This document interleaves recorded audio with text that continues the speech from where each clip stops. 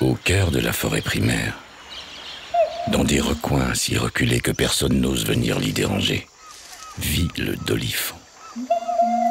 Son chant résonne tel une ode à la nature tout entière. Timide, d'une grande sensibilité, le dolifant perd sa fourrure quand il a peur. Qu'une pomme de terre sauvage tombe d'un arbre, et le voilà en panique. Afin de rendre hommage à sa superbe pelisse, nous en avons fait un sac. Wonderworld Fur, une nouvelle espèce de fourrure. Découvrez la collection sur wonderworldfur.fr.